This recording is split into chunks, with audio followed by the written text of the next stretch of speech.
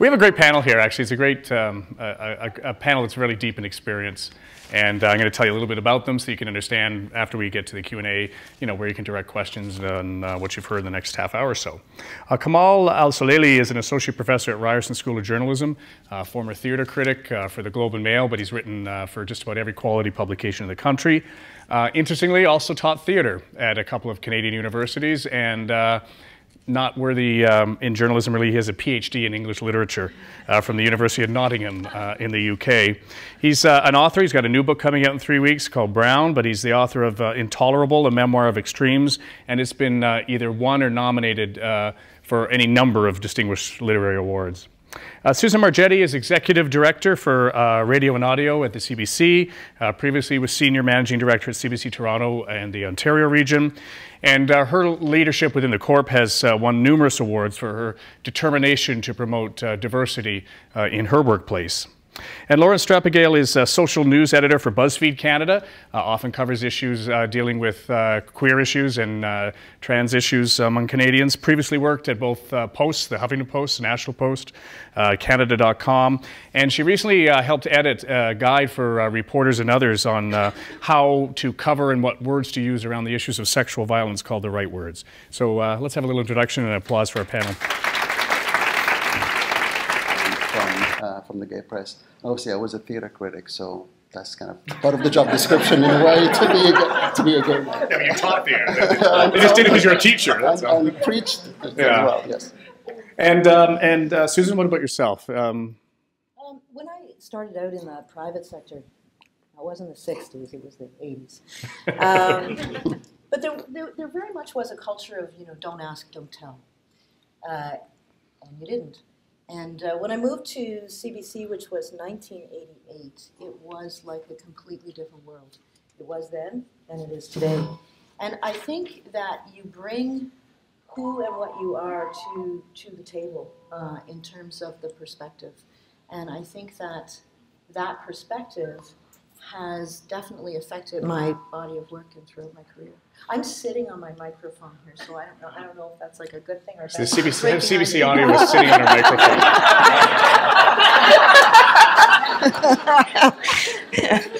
you know what this?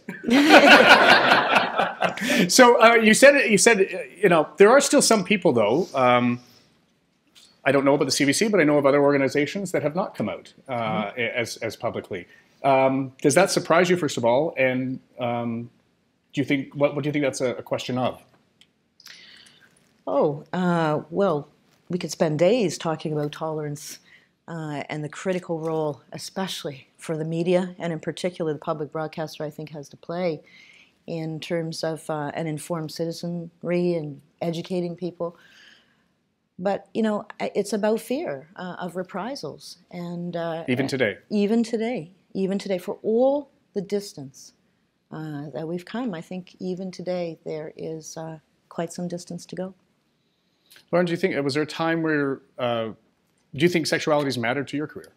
Yeah, yeah. I mean, um, so what was interesting for me is I came out as I was sort of getting started in the journalism industry and as I was starting to cover queer and trans issues. So it was very personal for me, sort of fighting to get these stories into print, at the same time, sort of fighting to figure out who I am and um, what my identity means for my career. And I think it has totally shaped uh, the focus of my work, um, the things that I cover.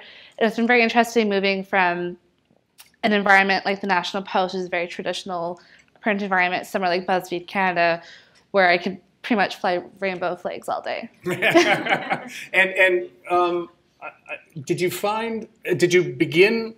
In the in the milieu of sort of advocacy journalism, is that why you were attracted to journalism, and has that continued through time, or is that losing some of its edge for you? I mean, sure. I think so many people get into journalism because they have this idea they want to save the world. I mean, I hope that's why we do journalism. I, I still think that's why I want to do it.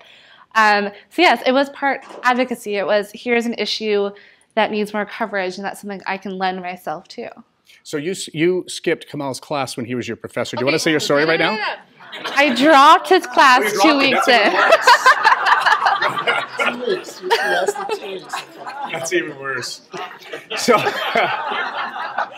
so um, I know in my, in the television side of things, uh, I can't speak for the print side of things because I haven't worked in, in, print newsrooms, but I know in television, um, I think it's fair to say uh, there has been progress made. That there are many many people who are on television and anchors or as broadcasters who are out. Uh, but I think it's also fair to say that you can be gay but not too gay. What do you think of that? I did work in broadcast, maybe. Yeah. yeah. And by that I mean because the audience for television and because the audience for conventional television in particular, news and current affairs that we work in, tends to be older, that there is still a heightened sensitivity about how people sound, how people look, and how people act. Say that's true? I, I think that is for, uh, for on-air roles, but I also see that changing. Um, you know, uh, diversity in any kind, um, uh, in, in all its breadth and depth, is one of the things at CBC Toronto that we were working so hard to achieve, which was to bring, um, you know, two diverse hosts to our supper hour, which was uh, the first major market uh, television to have two diverse co-hosts on our uh, Toronto television show with uh, Anne-Marie Mediwake and Dwight Dwight Drummond. I think in terms of uh, sexual orientation, you know, we've always been here, but um, but we've never been more visible. And I th- I think for sure uh, when you are on camera, people call for God's sake about your hair. They call about you know you have too much eyeshadow on tonight, or that's the wrong color for you. So you know you can imagine in a society um, that um, you know uh, looks at their television or uh, any visual medium that they're going to have a response. Is that changing? I think it is. Uh, is it acceptable? Uh, no. Uh, but uh, you you know, Kevin, you're from a TV culture. It is um, it is definitely part of the culture.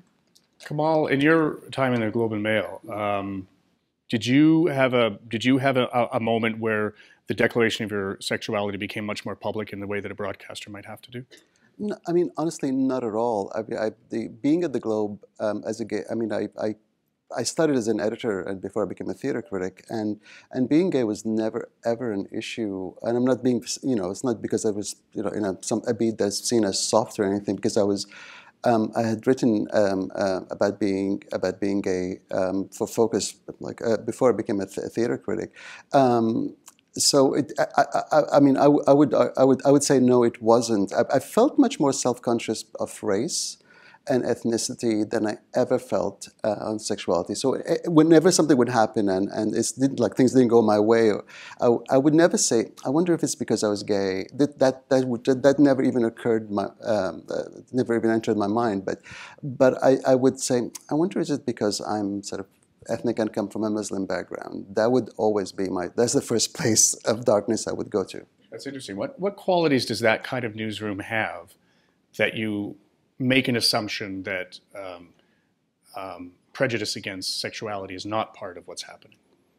Well, well, I, I, was, I mean, in a way, I was privileged. Most of it was on the arts pages, and um, and, and and and that in itself kind of um, uh, implied a certain, I would say bohemian necessarily, but a much more relaxed. Uh, but but I, I suspect if I were in the business section um, or or covering Ottawa, um, I may have had I may have sort of retreated into the closet, or I may have just decided that that this is not necessarily um, uh, not necessarily relevant, or this is not it's not something I should I should be um, announcing. Whereas um, uh, first semester, the first sorry semester, I think as a professor all the time. Now, uh, the first uh, the first few weeks, I was a theater critic. Um, I wrote a, um, uh, a review of uh, a play at Buddies, and it was partly about bullying. And I said, you know, as a gay man who was bullied as a, you know younger, I think, and and, and that was and a copy editor at the Globe said, "Are you sure? Are you sure you want to say this? Because you know she's been there at the Globe for 20 years and." Not, uh, this is the first time a critic of any kind sort of declared uh, their sexuality as part of the review. So I hear you saying that sometimes it could be beat dependent within a news organization. I, I mean, uh, uh, uh, listen, I don't want to out anyone, but at least I know a couple of uh, um, columnists at the Globe who are who are uh, gay, but they're not out. Um, and they, you know, sort of on the nationals, um, on the national, and that's that's a decision that they have made, and that I think that's that's their that's their business. Lauren, is it is it is acceptance? Um, age dependent? I mean, as somebody who's now working at BuzzFeed, which is a very different vibe from the National Post or Canada.com, even, uh, what have you observed as you've moved from sort of larger news organizations that tend to be dominated by dudes my age to one where, where we're like not even welcome in the door? Ah, um, yeah, there's a huge difference because I saw I started at the Huffington Post, which is you know similar to BuzzFeed, that kind of startup feel, digital and young. Um, I do feel like when I so I was at Canada.com and we sort of our team got rolled into the National Post. So one day I was like, go to the third floor, you work at the National Post now. Um, and I do remember sort of retreating back into the closet a little bit because I was in a very different environment. Um, and it's not that anybody had come up to me and was like, keep the gay tone down or anything like that. It, it's just sort of this feeling of the culture of the newsroom isn't isn't one that welcomes that. Um, so it's not like I was purposely hiding myself, but I was just I, I was not talking about it. Um, or I, I, I'd be pitching things that uh, talked about queer people or trans people. I remember them not being received as well as they would have at other publications or somewhere like at BuzzFeed. Um, but then switching over to BuzzFeed, yeah, I'm like 100% gay every day. It's like super gay because that's, that's the kind of environment that BuzzFeed has created. I mean, we have dedicated reporters and editors just to cover LGBT issues um, at the US and UK offices. It's the kind of environment where diversity is like whatever is so welcome. Like they want to hear your your viewpoints. That's awesome. So, I mean, talking about the demographic issue, then I guess the question is because I've, I've I, I noticed this in my own life that um, you know my son's level of acceptance, the level of acceptance at my generation versus my parents' generation. I had to live that, you know, um, as as we were becoming accustomed to Alex's truth. Um, I'm wondering whether or not in your organizations do you see um, acceptance of that kind of um, diversity growing faster than the way the demographics are changing. And by that I mean, you know, um, I mean true progress isn't isn't just the younger generation growing up and taking taking uh, the positions of the older generation. True progress is that it's it's beating that and is going faster than that. Susan, do you find that at the CBC? Uh, well, I, I would call this CBC, you know, a safe haven in a lot of ways. Um, it's really a very inclusive employer. It's worked very hard. Uh, you know, it's um, legislated under employment uh, equity, uh, and just the work we've done in Toronto locally. I, I, was asking a few people today, and they're like, Susan, it's just not an issue. It doesn't come up. We created a very diverse team at CBC Toronto locally. We're doing that now. It's been six, seven months in my new job at the network. We're beginning to to um, to push forward even further at a network level, at a national level. But you know, sometimes it's like you do. You live in this um, world where you feel safe, where you can be yourself, uh, where it's not an issue. It doesn't come up. It's just not important to the discussion. Um, and then you walk out of that building and you have an incident or you have an experience and, and you remember that you you live in this uh, little society in this little world that's quite inclusive quite welcoming. I remember years ago when i was first starting out um, and i was one of those people who was really pushing to do stories on aids in the 80s and uh, kept getting turned down turned down turned down. And and the reasoning was well it's a it's a gay plague susan it only affects gay people and they don't listen to us um, so you know we, we, we don't need to to tell these stories, um, and I would continue to push to tell those stories. We would tell those stories. I would go to the public broadcaster, and it would be just the whole level of discourse uh, and discussion on the stories that we were tell was so different, and that is the reason actually I made the transition. There were stories I wanted to tell that I couldn't tell uh, where where I was, but. Um, you know, it's it's been a long road for sure, and a lot has changed, but there's still distance to go for sure. What do you think um, as far as pace of change? Um, I mean, I'm not in a newsroom right now, but I have the sort of being part of the university, and I, I see a place like Ryerson where diversity is, is kind of one of the pillars of that institution. Um, and yes, it, it's happening at a, at a pace that is faster than some of the older faculty, but it's not fast enough for the students um, because the students are coming at it from a completely, um, from a, you know, I, I find it very hard to, if I, it would be a rare thing if any of my students would say anything that are homophobic or would even think about that. And um, so, so that's in, in relation to the, to, to, the pace. But the place is also is, is, is something important because um, uh, we, we, are all here in Toronto, and, and, and it may be different in smaller communities and in smaller newspapers. And, um, and I don't want to stereotype smaller communities, but we do live in a, in, a, in a particularly diverse city, and the city that has managed to sort of include diversity as part of its uh, sort of overall package. But, but you know, having done uh, readings in smaller communities and in smaller places, I didn't always feel very safe. Having written a, a memoir that is, you know, about being, growing up gay in the Middle East, I haven't always felt incredibly safe. And this is within Southern Ontario or, or Eastern Ontario. I haven't always felt that I should, after the talk, I should just walk around and mince around the streets of Kingston or something. But uh, I always, I always just kind of felt that um, I kind of ret- again retreated to, to, the closet and uh, you know straight acting until I got out of there. um, what about straight acting on social media? Because I know of an example at uh, the place I work uh, where uh, an anchor who's gay um, tweeted on Instagram a great picture of him and his boyfriend. Um, they're ripped and they're in the swimming pool and they're having a great time. Um, and I also know that um, there was some things said about that that might not have been said to me when I posted on Instagram a picture of my wife and I on the beach. Where, where is that, do you think? I mean, if, if people are willing to um, welcome, I mean, and I think there's an expectation now that people who are in journalism um, are very much more open about who they are as people. Do you see that there's a different standards uh, when it comes to you know either corporate media or social media or or just what the expectation is about what what is acceptable for someone that represents an institution like a newspaper or a website or the CBC or the CTV that there are different standards there when it comes to social media and your behavior. I've, it's interesting because I've never felt like I had to hide who I am on social media. I mean, I I'm the millennial. We overshare on social media. Um, I, I do put a lot of myself out online. I've never ever felt like it will be problematic in terms of my career to do that. Sometimes I do worry in terms of am I crossing a line into where my employer might worry that I'm becoming an activist. That was one of my concerns, especially working more traditional media, is if I'm being particularly political about LGBT issues um, on my Twitter, which I am often, my employer is going to think we can't let you write about that stuff now. Hmm. Where, where what's the policy at the CBC? Because I mean, um, a good number of my friends work there. Um, and I must say that in almost in private television, I find the social media accounts of some of the anchors are more open than they are among CBC on air people. Yeah, there are uh, um, journalistic policies in place for very hard for millennials um, who want to overshare.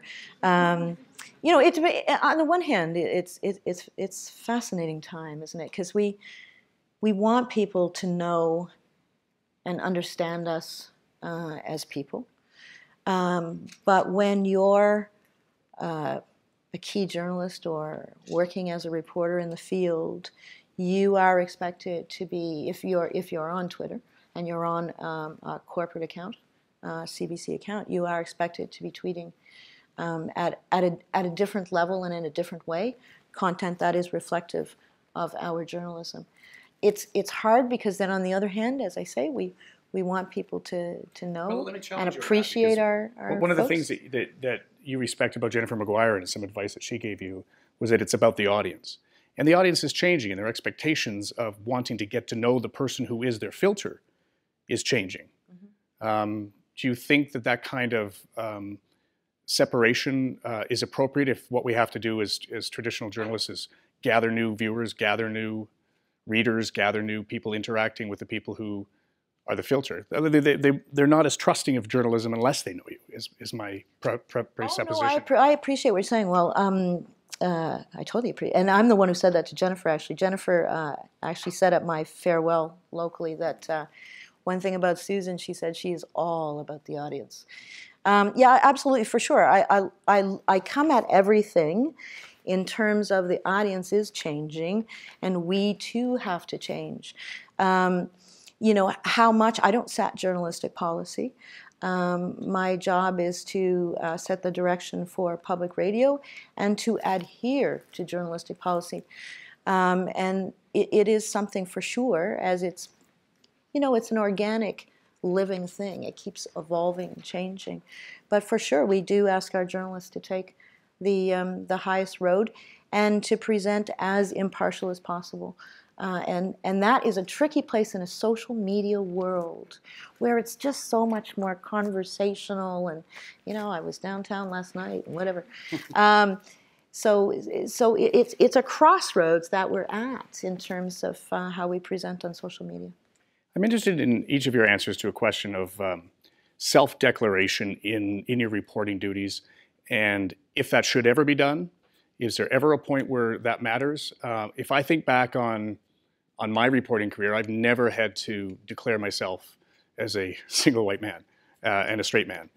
I, the only time I've ever had to declare myself in my journalism is when I did a story on my son who is gay, because I felt wrongly or, or, or not, or, or, incorrectly, or correctly or incorrectly, that uh, my audience needed to know that I came to this from a position of um, absolute civil rights and it's the only time I've ever declared myself. And I wasn't sure after I did it, like, why did I have to? You know, um, have you have you self-declared, and should anybody even be self-declaring in their duties of being a reporter?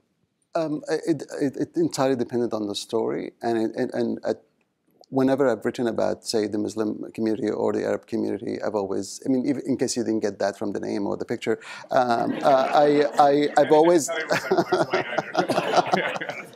well, it, I, I mean, I, I, I, have just because I felt I, I, I wanted to to some extent bring in the insider's view into this. But it, but on some level, I kind of I envy you that you never had to declare who you are. Whereas um, you know, growing up gay and, and uh, or, or, racialized, it's it's all I knew, and mm. it's I was never able to. I mean, and, and uh, yes, I've written about stuff that's not related to being gay and not related to uh, being racialized, but but at the moment about everything I write seems to be about being racialized, and everything I ask to talk about um, is, is, either you know the, the sexual identity or, or the racial identity. So, it, it, on some level, I feel like it has been a burden, and there are times when I just wish I could just write about technology, and something that I that that doesn't include um, having to deal with Islamophobia or homophobia uh, or anything with phobia in it, and um, and um, and that's a you know uh, it's it's a burden, but it's also a privilege because it there are a lot of communities that are looking to you to represent or to say. But I, but I wrote about homophobia, right? And I didn't I didn't feel the need to declare. Like why why is it only gay people that can write about homophobia? Well, I should hope not. Like right, I should exactly. hope that that everyone will. Yes. Yeah. Yeah. Yeah. yeah. You know, years ago, um, I, I lived with a woman, uh, proud uh, Jamaican Canadian woman, Right at supper time, the phone rings. She answers the phone. I would not have answered the phone, but she answers the phone. And I hear, uh huh, uh huh, uh huh, not on the phone. She hangs up. And I said, What in the world was that? And she said, Oh, it was a survey. And I said, What did they ask you? And she said, They asked me if I was a member of a visible minority. And I said, Not on the phone. um,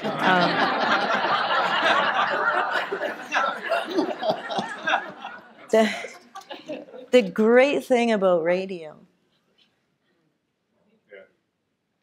it's how you think, right? And I love radio for that. And maybe that's why I always gravitated toward radio in the very beginning. Um, is that the beauty of it is it's intimate, it's immediate, it's portable, but it's about how you think. You are not a person of color on the radio, but how you think does take us to new places and deeper and more nuanced discussions. Um, so is declaration, do you think, less less a part of radio, self-declaration on I, certain issues? I think it is. Yeah. What do you think? I've never felt the need to declare like something I've written, um, my sexuality or anything like that. Um, I think declaring who I am say on social media has been useful in my career and for like for getting contacts in the community, for becoming known as a person who's safe to go to with stories concerning queer and trans people. Um, but I do think it's interesting they're saying that like on, on radio there's sort of no need to do it, but I think it, I think we've reached a point where it is important to state what your perspective is often. Um, And that's how it comes through, in perspective. yeah, sure, but I mean, what, what, so it's on a radio program and you're talking, I think it's it's good to declare this is my back. Yes, it's, it does come through in what you're saying, but I think um, as we're trying to include more diverse voices in media, um, I think it's good for people to step up and say, "This is my perspective on something." Do you, do you find people um, are still quick to ghettoize? Are the kinds of stories that they think you can? I mean, it Sure. sounds ridiculous to even ask the question in 2016, but do you find that? Yeah, and I think that's, uh, and I think you sort of touched upon this a little bit, is when you are like the gay person in the newsroom or the woman or the black person, because in some newsrooms there is one black person, um, you feel this tug of, are they expecting me to write about these issues, issues because of who I am? Am I doing it because they're expecting me to? Am I doing it because I really care about it? Am I doing it because I feel like if I don't, no one else will? You kind of get caught in this feeling of, am I being ghettoized or am I ghettoizing myself? And I, I don't know what the answer is still. Kevin, I, well, okay, I think that's one of the biggest issues right there. Hiring. Hiring's absolutely critical. You have one of anything, and that's exactly where you get into that situation. I mean, it's creating a team that actually authentically looks like the public was just on a stage a couple of weeks ago in Paris. I was talking about this very subject. Uh, remaining relevant in this changing time of changing technologies. And all of the sessions were on podcasting and you know, um, uh, uh, Twitter and social media and, um, and, and technologies, without a doubt, is completely changing our industry. But what are you sending out on those technologies? What are the content choices you're making? Where do content choices come from? They come from ideas. Where do ideas come from? They come from people. Where do the ideas from the people come from? They come from their lives and their perspectives. And they bring that to the story meeting table, which is why if you actually want to be more reflective of the changing face and voice of this country, you got to create a team that authentically reflects that makeup. If you don't have any people in your newsroom who are gay, except maybe one, um, all of a sudden you do get into that situation. There is now a whole body of uh, research um, that you have to hit at least 30% diversity uh, in whatever your business in order to change the culture. At the 30% mark, you stop having those conversations. So when I left CBC Toronto locally six, seven months ago, it was 32% diverse. Eight out of 10 of the hosts were themselves diverse. The staff makeup was 32% diverse. Uh, we had two LGBT people in the leadership team. Diversity wasn't even a discussion anymore. Like you just stop you have a whole different level of discourse when you begin to change the team and hiring is such a, a, a critical role. We're just beginning at a network level. Um, we've gone from two actually we haven't made an announcement yet so i'm not going to go too far down this path. but i was just going to say we've gone from two to to to soon uh, 10 uh, diverse hosts at the network level in six seven months um, we are, again, beginning, embedding this right into our mission mandate uh, to connect, reflect, and engage nation, one person, one story, one song, one event at a time. Start right there. All your choices go up against your strategy. But if you don't fundamentally change inside, nothing fundamentally changes outside. And that's key. But to be fair, I mean, the CBC is a federal, um, and you're federally also regulated, and you have, uh, you have uh, that is part of the uh, sort of the hiring practices at a federal level. But you know, the for-profit uh, media don't have the same obligation, and if they do it, um, there has to also be a business case for it uh, for them. Um, and I'm not saying there Can I isn't give you a- the business case? no, no, I'm not saying there isn't a business. Before you go, before you go, but but you are also uh, uh, because you are in, in, in uh, broadcast and broadcast is, and in general, I, I think broadcast is, is regulated federally reg- regulated more than Yeah, than my hiring practices, even in the private sector. the same But there's a social responsibility for the CBC, without a doubt. Its mission and mandate says it will reflect the changing face and voice of the country. Um, I remember when that policy came out in 1991. It's policy 1.1.1. I don't remember anyone rushing out to uh, to actually do do anything fundamentally differently at that time. But the business case, if you just take a show like Metro Morning and CBC Toronto 99.1, uh, that show was number six in the market. Uh, it had two diverse uh, people who tried to get diverse stories on the air in 2001. Um, they were often be met with, mm, we did that once. Nah, they're not listening to us. And when we began to change the, the team, uh, we began to change the content that was on the air, the guests we were booking, the music we were playing. Um, two weeks ago, two weeks ago, uh, Metro Morning went to number one for the 85th time in Toronto. And may I say, in December 2003, when it went to number one for its very first time, um, it was like the first time in CBC's history in Toronto, its largest market. Do you believe that there's a local aspect to that, though? That um, I believe there's a hugely local aspect to that, but I also believe that in Canada's largest cities, I believe that our urban centers are fastest growing. Um, we continue to, to, to be a nation of immigrants. Uh, and that um, you know the majority of Canadians live in larger cities. Also, Canada's population is aging. Immigrants are, um, in terms of the median age, younger. If you want to continue to grow younger and more diverse audiences in our most major cities, you absolutely have to go after that. It's not that's not local now. That's reflecting. So, given, given country. that progress, then, do you think, uh, Kamala, as someone who started at Extra, do you think the LGBTQ press still has um, a reason for being? And if so, what is that? Oh, absolutely. And, and, let me be honest. Like I, I, I started the gay press, but I also couldn't wait to get out of it because I didn't, I, I don't, I didn't, I didn't want to be uh, ghettoized because you know, I didn't want just to be the gay writer. I mean, that's also from from the point of view of the the diverse person who's being hired. You don't want to think they just hired you for the diversity card, but they hired you for your talent or for your uh, ideas. Um, but but um, it, it's sad to see what happened to Extra, particularly because it went to from um, uh, visible presence in the city in, in, in, news boxes to digital only. And this is not a knockdown on digital only um, uh, uh, outfits, but uh, but there are stories and there are um, uh, both um, sort of long form and news stories that were only covered in, in, in Extra. Um, they, they, they, covered issue to do with particularly violence against um, uh, uh, sort of gay men and, and women, um, sort of the, the, the, subcultures within gay culture, whether it's the, uh, you know, the, uh, the sort of S&M or bear culture or drag culture.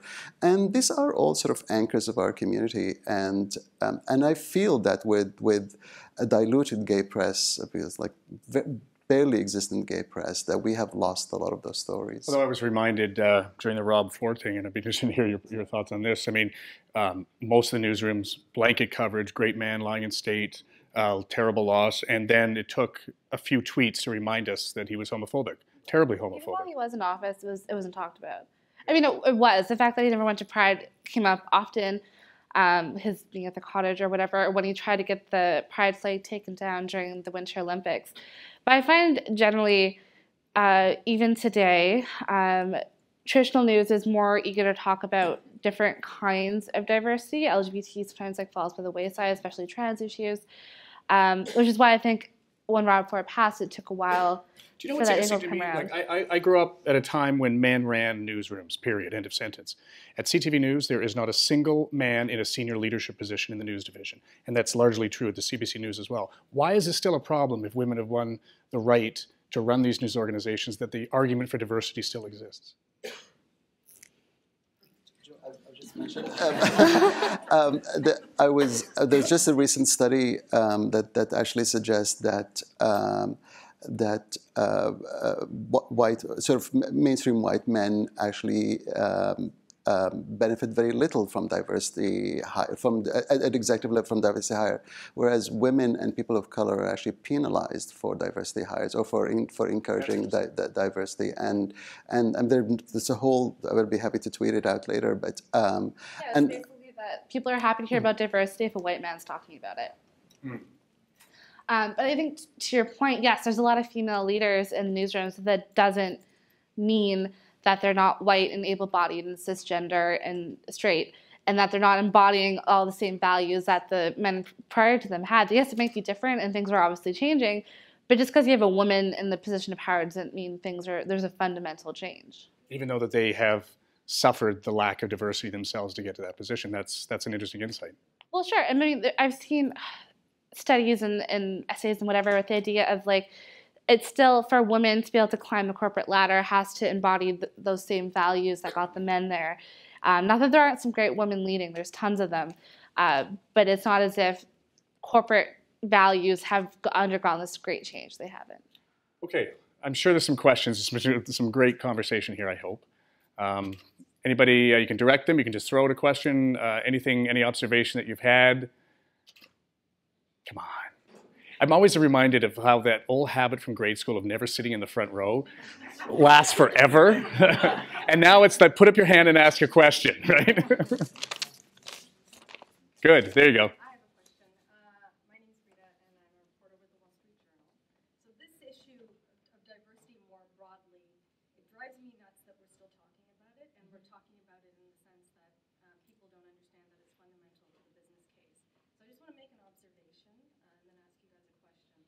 One of the things um, that I've learned by speaking to uh, people in corporate Canada, so one bank CEO in particular said to me, I never thought about this issue because it didn't really affect me. Um, but then I realized that if we don't have proper representation in our bank, and if those people aren't paid properly, and if there's you know pay inequities, that's a problem. And if that same kind of trend trickles throughout Canadian society, that's a huge problem, especially for our bank, because we can't sell them you know, mortgages and mutual funds and all the cool stuff that we want to offload on consumers um, if people aren't compensated properly and if there isn't um, you know, proper representation in Canadian culture. So that's when uh, I came to realize uh, that this was important and fundamental to the business case. So within the paradigm of his business case? Well, I... Somewhat. Well, he admitted it, it never right. affected him, so why, he, why should he think right. That, right? so I'm, I'm wondering why this is such a hard sell for mainstream media organizations. I mean, why can't people understand that if you're not telling these stories, not telling comprehensive stories about Canada, you're, you're ignoring segments of the population that you know may be potential leaders. And I'm, I'm just, I'm wondering what it's going to take uh, for that understanding to sink in. That basically, if you're uh, an owner of these news organizations, your own um, you know, profitability is going to be impaired if you don't, if you, if your newsrooms don't reflect the general population. And particularly, not just the newsroom, not just the journalists, but if your leadership teams don't um, reflect the general population, the mastheads, people who are in positions of power, it's, it, I don't understand why this is so difficult, and I don't understand why people are being told, um, oh, well, you know, we have cutbacks, this is not a priority. I don't understand why this is a second, uh, secondary issue that people think about. So I'm just wondering what you guys think uh, to bring this to the forefront and for people to understand that it's fundamental to the business case in media. Okay, I have two theories. Um, one of them is that if you look at the the leadership in a lot of newsrooms, it's still particularly old and white and straight and cis, um, and these are many of these people simply do not care. I'm going to be honest; they don't care. They they look at the idea of diversity and see it as like a nice bonus, they think, oh, it'd be nice if we could, you know, get some freelancers to talk about whatever. Um, they don't actually go through the trouble of considering on a day-to-day editorial basis what the stories are that are important to people of backgrounds other than theirs. I think it's like as sadly simple as that a lot of the time. And I think it, there's also a case when you're looking, especially newspapers, a dying medium. Um, they're really trying to hang on to uh, their core readership, which are generally people who are older and wealthy, homeowners.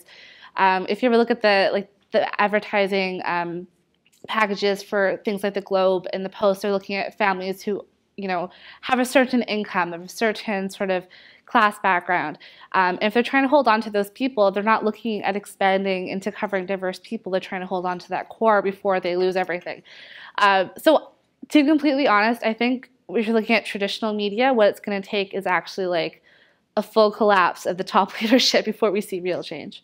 You know, I um, when we first started making our changes at CBC Toronto in 2001, we had a lot of research, but we brought in people from various communities and walks of life, not a head of this or the CEO of that, but just folks who were key influencers in various communities and various organizations. And I'll never forget this one woman. She said to the team that was assembled, Um, I, I don't listen to you. You're old, you're white, you're male, and you're worried. I really, really objected to the worried part. Um, no one, Describe me right. Especially No. the worried part. no one, no one was worried. Um, you know, I, I, I've done a lot of work with a lot of stations, and it's like what gets in the way. And really, we could spend a lot of time talking about what gets in the way. But one of the things is status quo. Um, people see loss. They don't see gain. You have to sell the gain if it's going to fundamentally change. But I also think um, the collective agreements can be an impediment. That uh, the union seniority in a lot of newsrooms uh, protects people of my generation, and so it makes it much, much more difficult, unless I will step aside, to to enact the kind of change that you want under limited budgets. Um, so I agree with you. I mean, I love some of the stuff that's going on in the Boston Globe and some of the newspapers in the United States that are completely inverting their management structure, but they've had to go bankrupt first. They've had to get rid of their collective agreements. Uh, they've had to work as the American networks work, 100% contracts. Then they're much more flexible to enact the kind of uh, changes in their workforce. But but that hasn't happened here. But you know, I, I work in a unionized environment, uh, and when I first came in in 2001, we had, okay, this was a lucky break. We had four vacancies. We hired strategically for those vacancies. We began to build a team. It's, you know, I was talking about diversity really recently, and someone said to me, "Well, Susan, hope you have more money. It's going to take more money." No, it's not going to take more money. It's about choices. You have a choice in terms of this guest or that guest, this subject or that subject. You know, I want to get to a place. I think we've done a fairly good job of doing and covering um, the LGBT community and the stories and issues. I trust my team. If there's an issue, they're on it. I want to get to a place where that guest who's gay is booked because they're an expert on hockey or childcare, um, where you know it's radio. You don't have to declare anything. When you begin to speak and talk from your place in this world, maybe it's part of the story, maybe it isn't. Depends on the story, depends on the issue, depends on the person, depends on the circumstance. But I want to get to that place where um, you're, you're, you're not the person coming in to talk about the gay issue. Just happen to be a gay person who's there to talk about whatever. And that's kind of the next level, the next step up. Um, I do think our organizations, all of them, are changing. Uh, but at Ryerson recently, um, Lori Beckstead did a survey uh, just a few weeks ago of media organizations, and you could still you could see the gap. Uh, it was a measurable gap in terms of um, hiring around um, uh, sexual orientation, around um, uh, people of color, um, and and she and, and men women. The ratio still remains um, quite high in terms of uh, men. Although again, that is changing, and that will change even more as more and more young women are graduating uh, from from journalistic schools. But but it's part of a shift, and we're kind of midway through. Actually, I'm going to stop uh, uh, uh, because our our journalism school is, is predominantly women. I mean, female. Eighty percent of the population is female, and has been like that for a couple of decades, and we still haven't seen that change yet. Yeah, who's getting hired? But, uh, and and that's that's I mean the, the fact that there are more um, that, that there are more women coming into journalism that has not it does not translate to more diversity at the hiring place and it's something I said in an earlier um, uh, somewhere else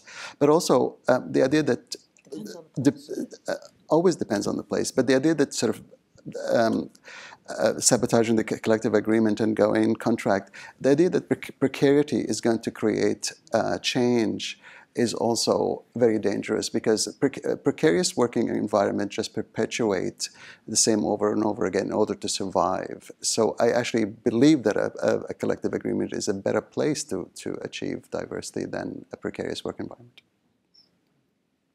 Uh, gentleman in the back. Yep, you. There's a microphone there if you want to go to it, but if you have a good loud voice, we don't need to. Okay. Actually, we can't see you with the lights. Oh, perfect. Pretend it's radio, yeah. Hi, uh, my name is Amar Kumar. I run a website uh, that helps citizens take democratic action on different national issues. And uh, I was particularly interested in what Susan mentioned about the 30% diversity tipping point that can happen.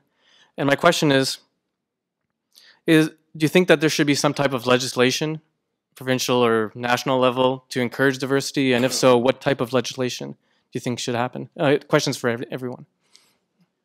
Well, well, CBC being um, you know federally regulated, it does fall under the Employment Equity Act. There are four main groups in employment equity, and it's the law. Um, uh, women, um, category called visible minorities, Aboriginal peoples, and peoples with disabilities, and you're actually measured uh, on your achievement in those respective categories.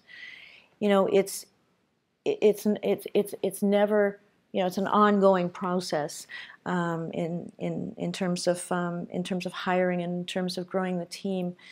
Um, while that's legislated, and I think legislation is important, but I don't think there are happy accidents um, in this world. So in, a, in addition to, to, to legislation, um, you know, you have to continue to, to really uh, create that culture of inclusion. And for me, I've, I've seen it start at the bottom, I've seen it start at the top, but it takes leadership um, and commitment. And when you get those opportunities, taking advantage of those opportunities, you need to see the possibilities and the outcome uh, in, in order to build that. Whether I worked for the CBC or not, I would have done the exact same thing. Um, you know, it is about the audience changing. And the audience is changing in two ways. It's changing in terms of technology, and it's changing in terms of diversity.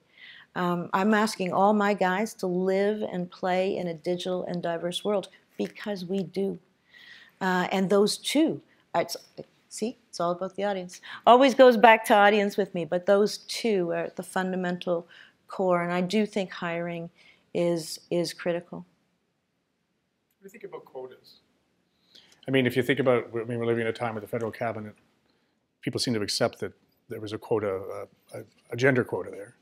I mean, if you get to do a quota about media in in Toronto, then almost 50% should be diverse, like racially diverse, because the population is of uh, people who come from racially, uh, identify as racially diverse.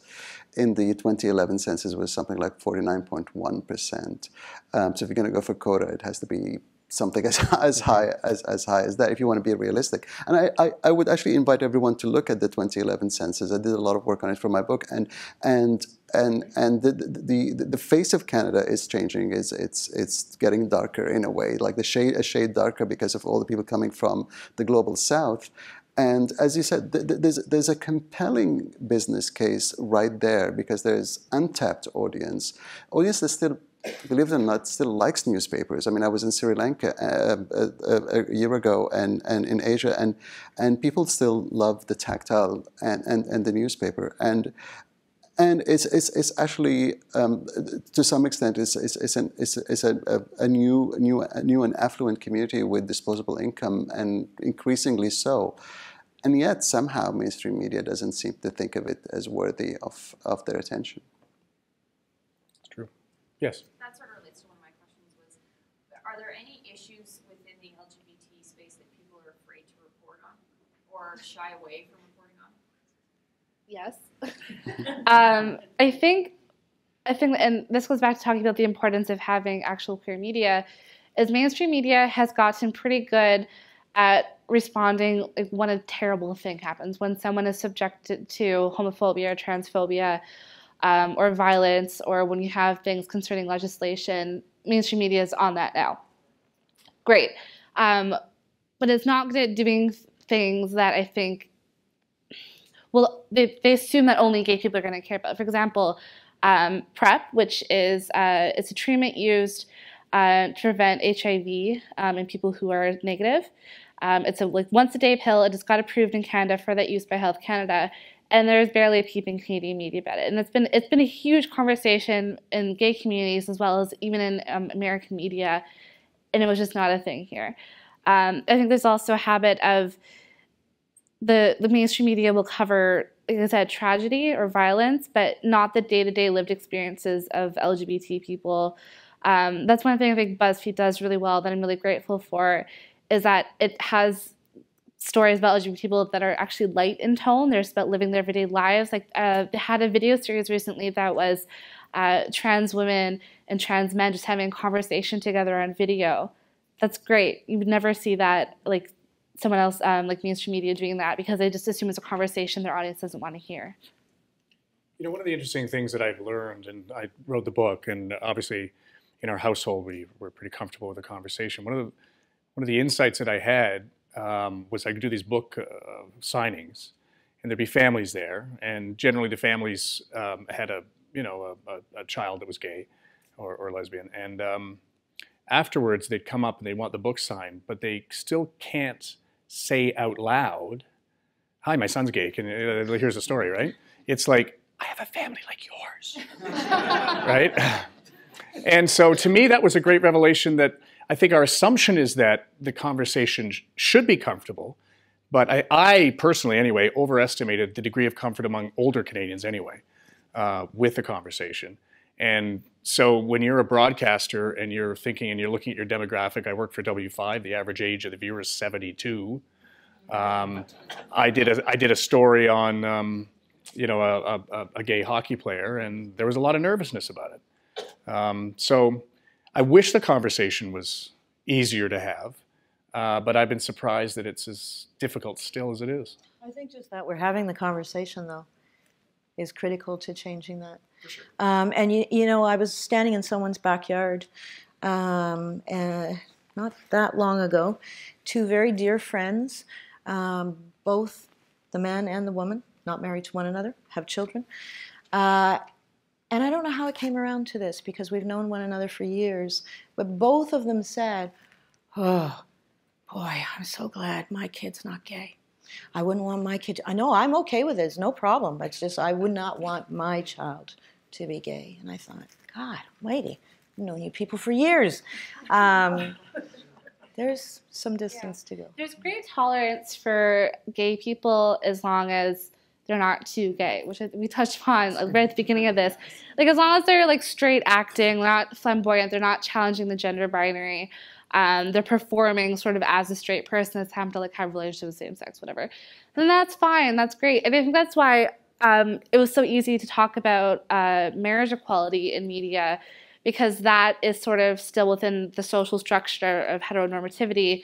Uh, whereas talking about, uh, I mean, I think we haven't touched on this much, but trans issues are some is something that media is terrible at covering. Can't even get the terminology correct. So anything that challenges um, this sort of mainstream, nice little like behaving gay person character we've created um, is problematic. Or even talking about nudity at Pride. Remember how that was a whole big thing? Like talking about actual like sex when it comes to LGBT people is still kind of taboo. Yeah, there's not a, not a not a great deal of knowledge whatsoever on trans issues. Like none. none. Yeah.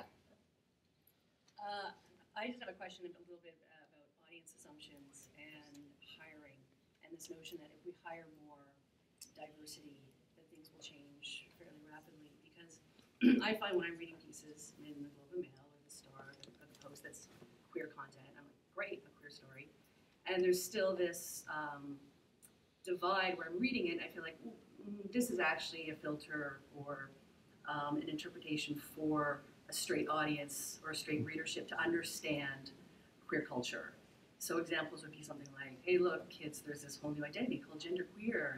We're going to hmm. infiltrate it and explain it to you, where this is an identity or something that you know people in queer community have known about for years.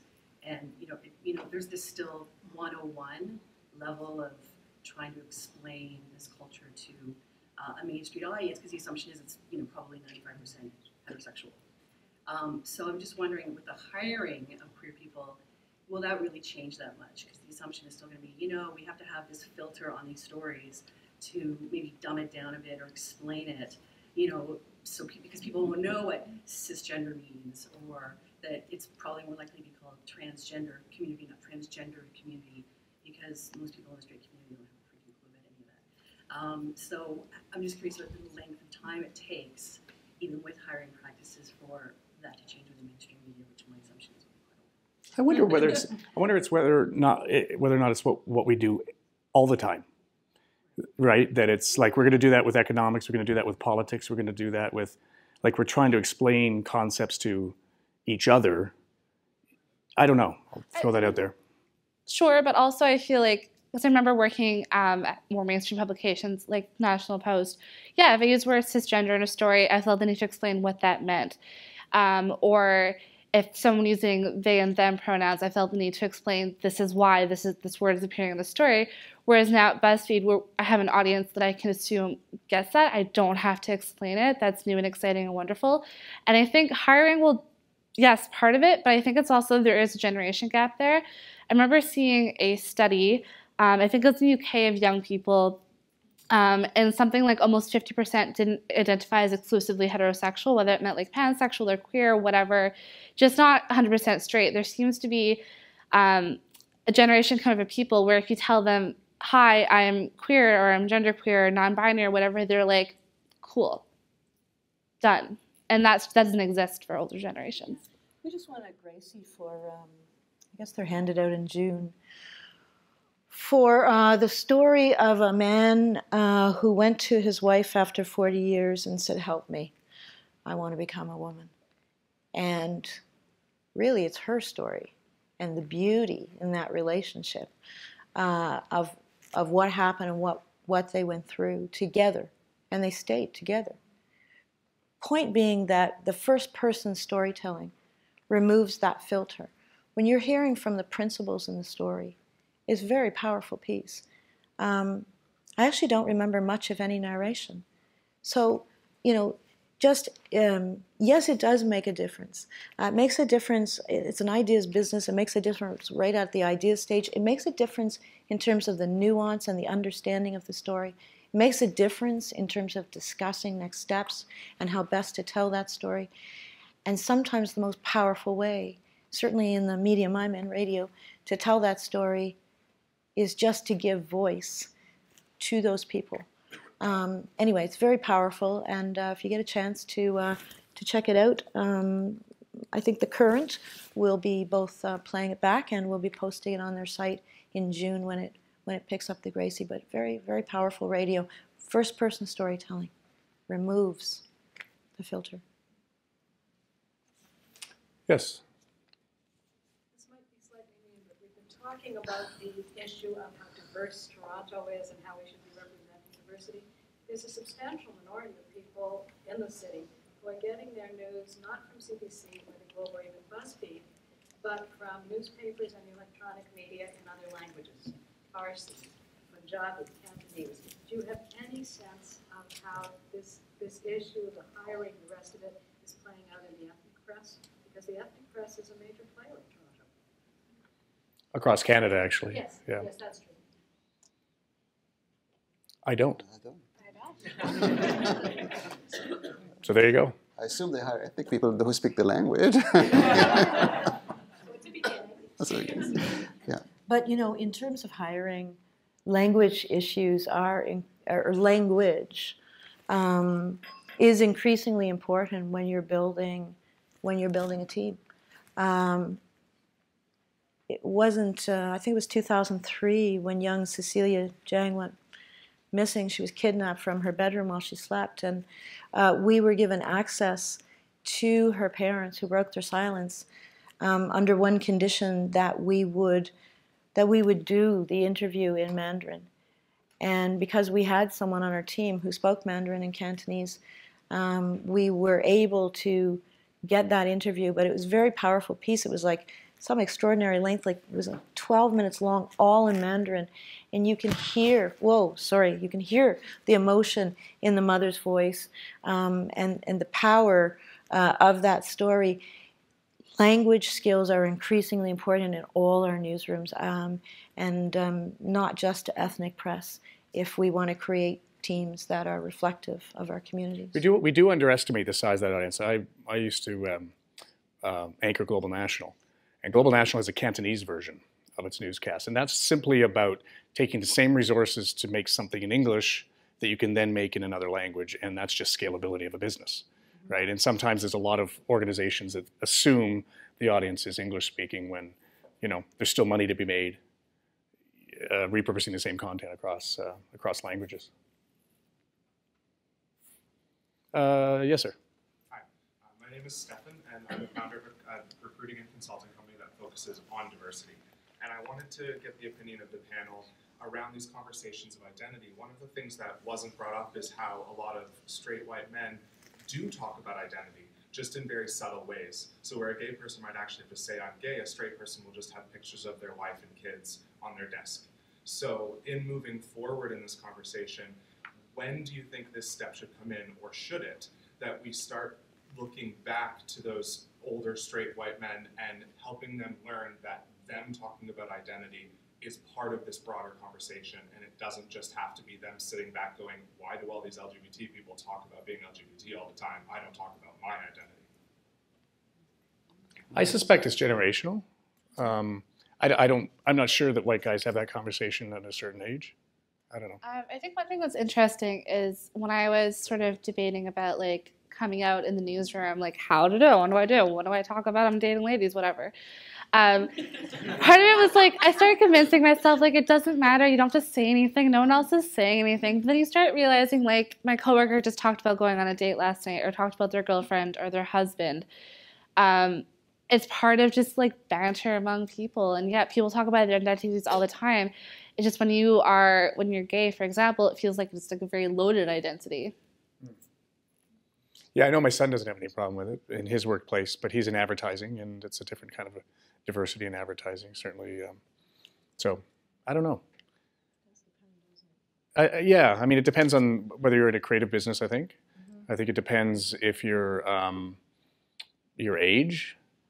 Um, I'm trying to think of the last time, and maybe maybe just because my friend group, you know, knows my son's gay that they they self filter, but I can't remember a conversation like that in in in my circle. Uh, but maybe that's just because my circle is special. I don't know. Well, I mean, we are seeing a rise in sort of men's rights groups, and and and, and to some extent, at least in parts of the U.S., white sort of white supremacy again, and. Um, and, and, I think that's a kind of a, in a way, a backlash to um, to the to the uh, inevitable backlash. I mean, it's not uh, to to some some uh, uh, you know, a sense of being threatened. I mean, a lot of the Trump supporters come from the from the place that they're being threatened by immigrants and being edged out of jobs by immigrants who, who undercut and accept lower lower uh, and and and I mean diversity to, in general should really mean um, multiple voices, not just um, not just uh, racial or sexual diversity, but but everybody and his age and his geographic and his uh, class and social income, uh, and that that that if you really want to create a diverse place, you you don't just tick two boxes on the diversity checklist. Yes.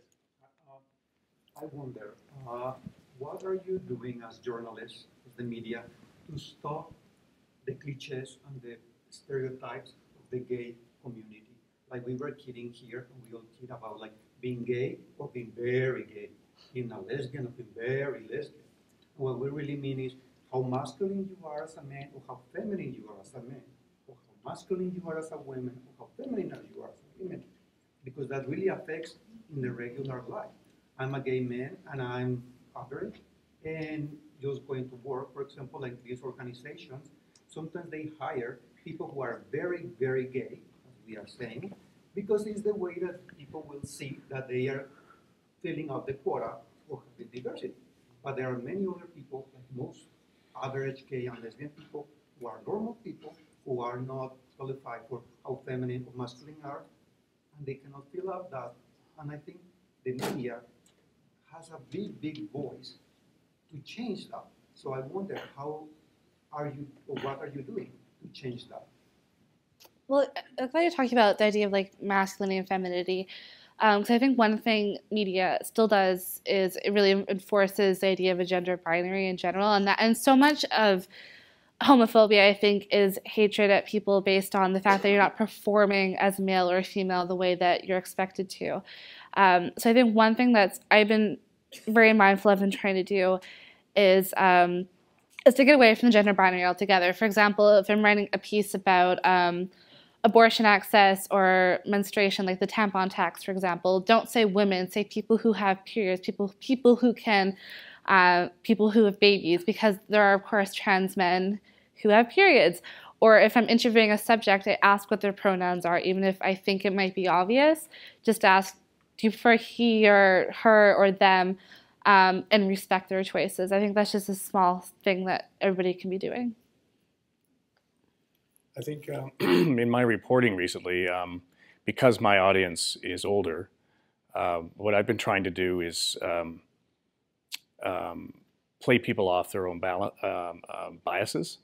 So, for instance, when I did that feature on the on the hockey player, I used every sort of masculine stereotype: hockey player, tall guy, all the guys in his team are saying he's an awesome guy. And then the the viewer finds out after the fact that the kid's gay, after they fall in love with him, basically. And it's you know it's it's sort of like the Rock Hudson thing, right? Or you know, or uh, or uh, Caitlyn Jenner. It's like you have to know the person before almost, and then that helps you get over that hump. Um, and I mean, it's not the way that I would fashion it if I was talking to myself or people that I know, but I've tried to um, I've tried to have that moment where it's like, oh, because all of a sudden they're challenged with what their preconceived notions were, if that makes any sense. I always, uh, I always say, uh, if we do our jobs really well, we can make people think, uh, if not differently, more deeply. And I think helping people understand um, is the first step forward hugely. And so that's, you know, the choices that we make every day and the stories we tell and the portrayal of those stories.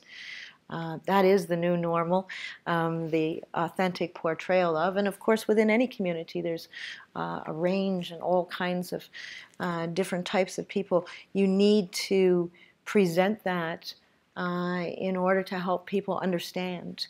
Um, and um, and that's a key. You know, years and years ago, I was um, was in Halifax and I did a story. There was a there was a particular issue at the time uh, I kept hearing these rumors that if you were young and black, um, you weren't welcome in the downtown bars and nightclubs. Anyway, this, the station I was at uh, wouldn't tell the story.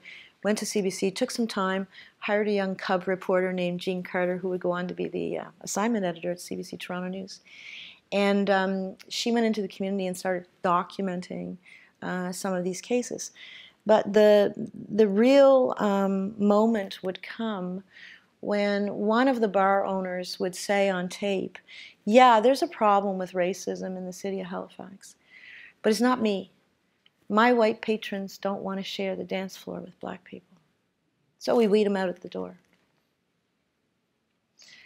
You know, I remember when we were changing CBC Toronto in 2001, and people would still call them. People don't call now, they email you or text you or whatever. But people would call and they would say, you know, get those accents off the air. Uh, we're not listening anymore. And and part of what we did, you know, in telling that story, and part of what we did in changing our airwaves to be more reflective, is educating your public too, right? And that's what begins to create and generate that that sort of societal change that you're talking about. Um, well, do you agree that there's a, I mean, that part of the role of the media is, is it to educate? Um, I, I, again, I, I, I don't think education is the only thing, but but but, but it is it is part of it. Um, um, I, I, should hope that there's there's a there's value. I mean, coming from um, the arts coverage is also value in entertainment and enjoy, enjoyment. Um, but but I think all, all of this really to me is that we are a country in flux in a way with our demographics, and we're a country that is going through change, um, a, and the change is happening at a rapid pace at the moment because the technology is helping that, immigration is help is changing, and all these questions. I mean, they are not going to be sorted out tonight. They're not going to be sorted out next year. I mean, we, it, it is really a demographic revolution in a way. That's that's the backdrop of everything we're talking about today that's a pretty good way to end, I think, is uh, unless anybody has anything urgent. Kicker. Yeah? The closer. The closer. Yeah. yeah. Okay. Thank you very much. Thank you.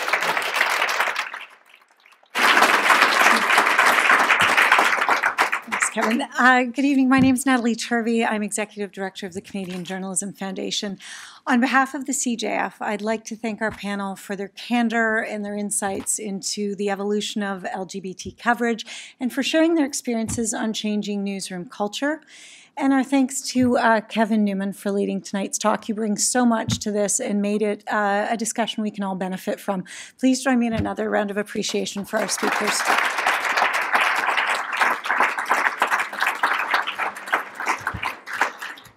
Before we head into the cocktail reception, I'd like to preview some of our upcoming CJFJ talks. Uh, we hope you'll join us, and uh, you can have a look at our, our slides. On May 5th, Richard Gingras, head of Google News, is with us in conversation with Globe and Mail's uh, David Walmsley on the sometimes fraught relationship between the tech giant and the news media.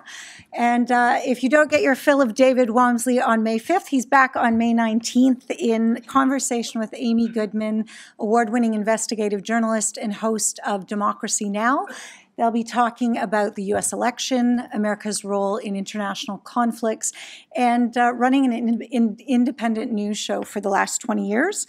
On May 26th, we explore disruption and the intersection of news and technology with digital pioneer Emily Bell in conversation with the Boston Globe's David Skok. And on June uh, 16th, we're celebrating outstanding Canadian journalistic achievement at the CJF's annual awards gala. Uh, along with our awards and fellowships, we'll pay tribute to Power Media couple Sir Harold Evans and Tina Brown. As well, we're joined by the Boston Globe's Pulitzer Prize winning Spotlight team, uh, who'll accept a special citation for their fearless journalism exposing sexual abuse and cover up by the Catholic Church in Boston. So, thanks to all of you for supporting CJFJ Talks. You can find details about uh, these events on our website and Twitter feed. And finally, our, our thanks to TD on behalf of the foundation, uh, not just for this, this uh, terrific space this evening, but for leading conversations around inclusion and diversity and social change. So thank you, and I would like to now invite you to meet our panel and join us for a cocktail reception and continue the conversation in the next room. Thanks so much.